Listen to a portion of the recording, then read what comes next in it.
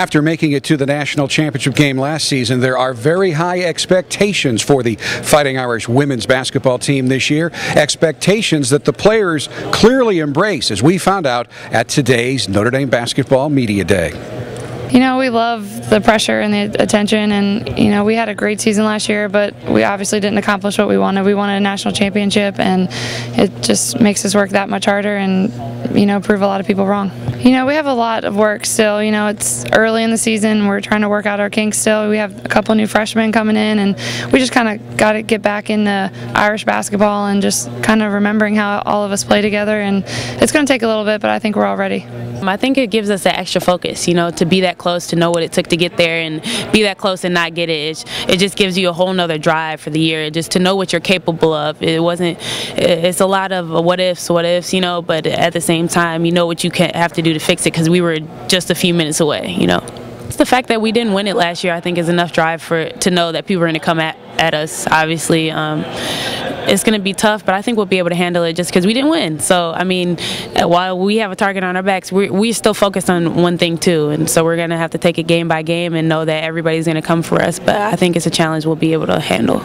You know, to be honest, after this summer, we were able to, or you know, during this summer, we were able to use. We'd shout out 1552, which was one of the in the second half where we were up seven and we lost um, the game pretty much from there.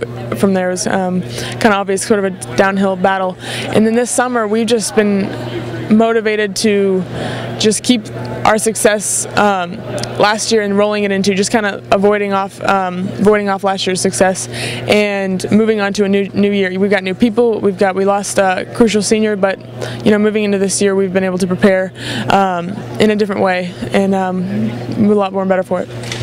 Well, I just have to be myself. I mean, I got to this point by being myself. Um, and you know you can't change who you are and you know when when we step on the court all peripheral things go out the window um, and at the same time understanding that it's, it's not about me. You know what I mean? It's, it's about this team and the focus will be on this team um, you know at all times. So um, regardless of any individual accolades I mean that's amazing. It's a blessing. I'm honored. Um, but at the same time I'd much rather a national championship than player of the year well, we got a lot of good players on this team, and I think I don't know why people don't understand that by now. I mean, we got two All-Americans, and you know, all tournament team, Devereaux Peters, one of the hardest matchups in the country, Natalie Novosel, and then you got Kayla McBride returning, whose sense of urgency is the greatest on this team right about now, as far as her just ready to get back on the court. And then you got Natalie Achonwa, who's ready to step up and be a, a, big, you know, you saw a little bit of her at, the end of the season, um, but I think this year her confidence is at all time high.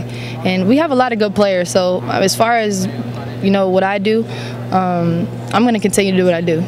And they stop me, they got to stop the rest of the team because I have no problem in getting 12 assists a game.